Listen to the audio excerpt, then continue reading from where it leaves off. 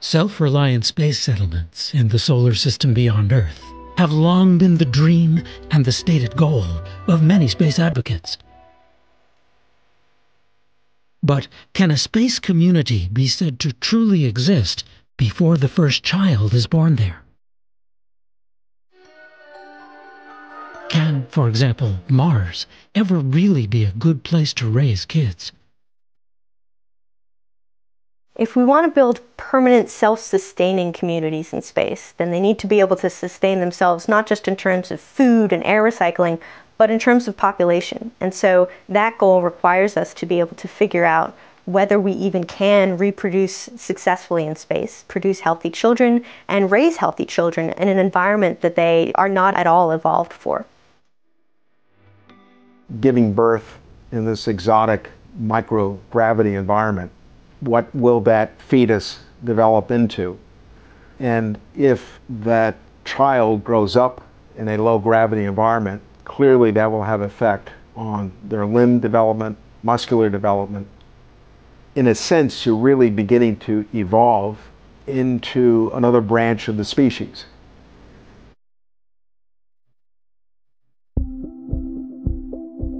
We, Homo sapiens, evolved on the densest planet in the solar system. All of Earth's species are built for relatively strong gravity.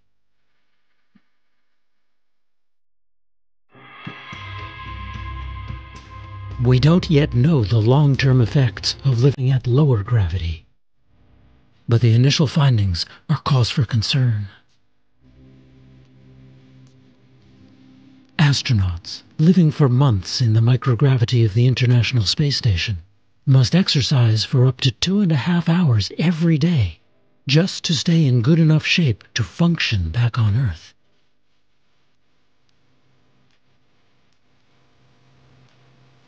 To go deeper into space, for much longer missions, designers plan to spin the crew habitat sections of spacecraft to produce a form of artificial gravity where down is outward along the axis of rotation. But we don't know if gravity simulated in this way will completely protect space travelers.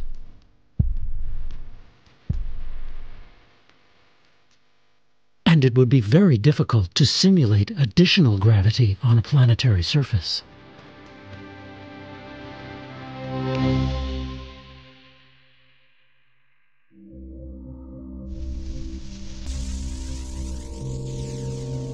Our species was also born on a planet that generates a strong magnetic field. Earth's subterranean dynamo projects a shield out into space, protecting all its life from damaging radiation. Mars, the Moon, and other small worlds are not so lucky. They have little natural defense against the constant barrage of highly charged particles from the Sun, which has, in fact, stripped away much of the atmosphere of Mars.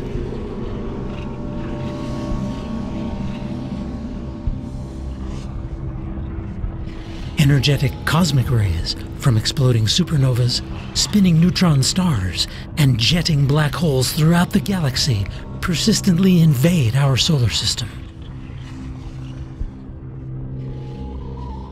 Away from Earth. These powerful sources of radiation could be particularly dangerous to developing fetuses and very young children. a lot of the damaging effects of the space environment that we need to protect adults from would be even more harmful for children or for developing fetuses. That includes things like radiation or microgravity. And so we need to figure out whether these are going to harm developing children or whether we need to add additional protections or whether it's impossible. We just don't know. And in fact, the big challenge is that we don't even know how to ethically figure out whether humans can reproduce in space because that kind of scientific research would require us to experiment on pregnant people and fetuses, which is generally considered to be very unethical. We haven't seen children born off planet in no gravity. What would be the effects on kids' bone density? This is when they are taking all those minerals into their bones before they get to the point in life where they start leaching them out. There could be some serious health issues for children, but we don't know what they are yet.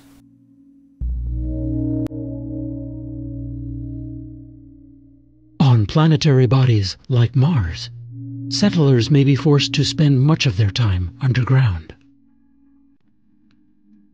or living beneath a substantial defensive buffer of insulation. Some space architects believe that surface dwellings, 3D printed from locally sourced rock cement, could allow natural sunlight through transparent water used as shielding.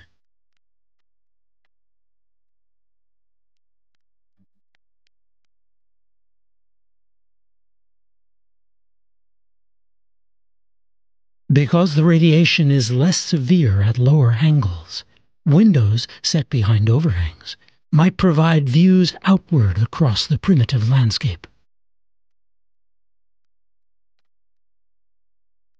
But excursions out onto these stark surfaces will need to be kept short and will always be fraught with risk.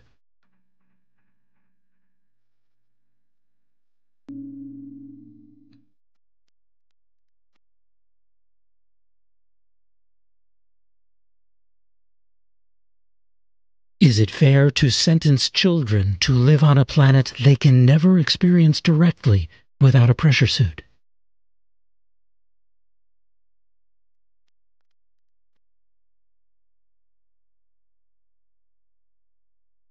Or to grow up on a world they may not be able to leave to come to Earth?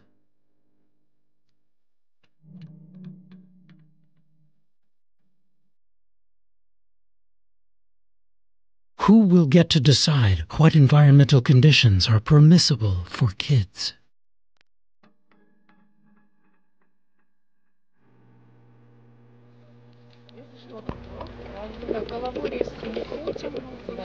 And Pyotr Dubrov, outside of uh, the uh, Soyuz capsule, 355 days in space.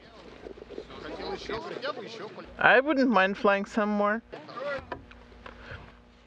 Astronauts who spend a long time in space tend to have a lot of physical problems when they come back. In particular, it takes them a while to adjust to Earth's gravity. And so there is a worry that if children are raised in space, they'll never develop the bone and muscle structure that they need to be able to walk around on the surface of the Earth. Which could mean that children that are raised in space can never come back to the planet that their species is from. And so this is a big ethical question. Would it be wrong to raise children in an environment and take away that birthright, that, that ability to go back to their ancestral home? On the other hand, this is one of those safety concerns that, that could be a mark of tyranny. Do you want to have the state making that decision?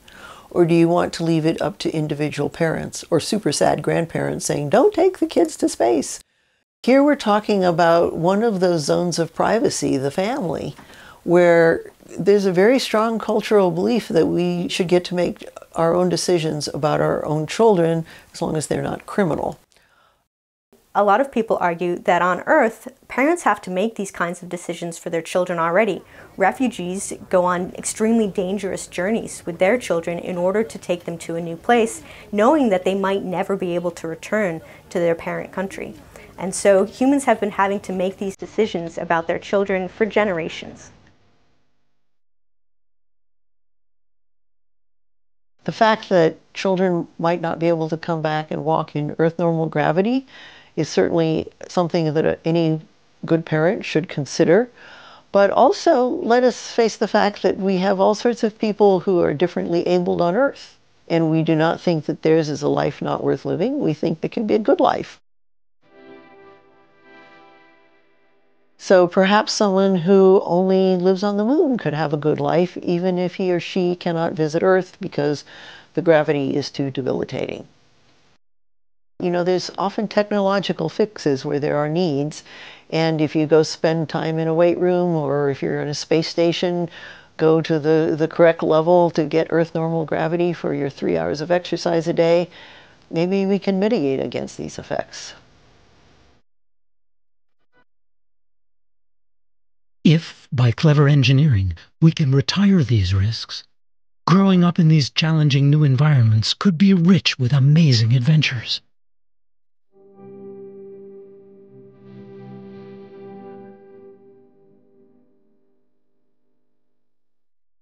Some of these children of the sky may encounter remarkable trials and victories that humans have never before faced. As they grow beyond Earth, future generations may grow beyond human.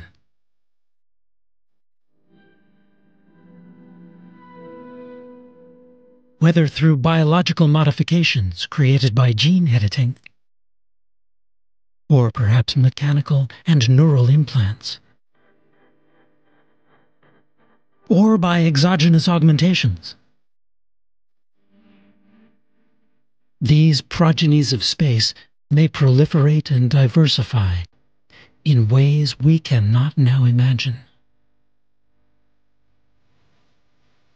But will we be mature enough to handle our future differences? Humanity, which has a horrible record of dealing with the other, be it color, ethnicity, whatever. Now we're going to add to that people who are coming from the space environments who will indeed be different in some fashion. I don't think any of those are going to be deal breakers or will stop the migration of humanity, but they will be inevitable outgrowths, inevitable collateral effects of humanity migrating into space. So, for those who are aspiring to be ethics experts uh, in the realm of space, there will be no shortage of job opportunities.